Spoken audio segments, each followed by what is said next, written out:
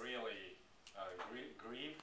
Last uh, last year, uh, we lost a really great person, great novelist, who, whose name is Kurt Vonnegut. Uh, Kurt Vonnegut. He's an American novelist. So today I'd like to uh, overview his uh, biography. Kurt Vonnegut was born in 1992 in Indianapolis. And uh, as I told you, unfortunately, he was he, he passed away uh, last year at the age of 80, 84. Uh, after he studied at Cornell University, he was uh, enlisted in the US, US Army. So uh, when when he, he was in uh, U.S. Army, he mainly, mainly served in Europe. So he joined uh, he joined fighting battle uh, fighting in the Battle of Bulge, uh, which is which is a place in Germany. And unfortunately, he was captured in this battle.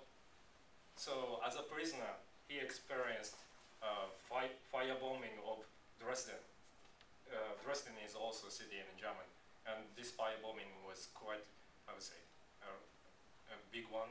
Mm-hmm. So the hardest obstacle in his life uh, might uh, should be on this experience, Mhm. experience on the war. After after after the war, he produced many uh, novels he used his style was quite unique. He used long sentences and little punctuation. But not only about that, uh, he also shows his talent for sat- satire.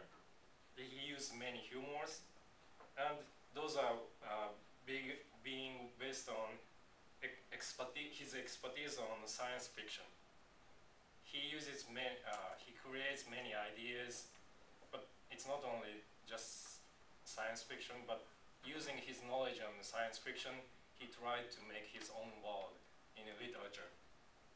So he is he is considered as a most American artists on this uh, on late previous 20th century.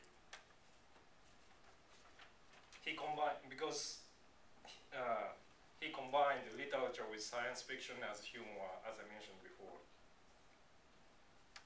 So, even though he got strong impact from the war, uh, his talent enables him to use such kind of experience to make his own world by his word and sentences. So unfortunately, he passed away last year, but happily we still um, can enjoy his writings and that his how to say his heritages Mm-hmm. his heritages enables us to not only enjoy, how to say, imaginary fancy world, but also uh, for us to think about for the time, for the time being real world. Thank you.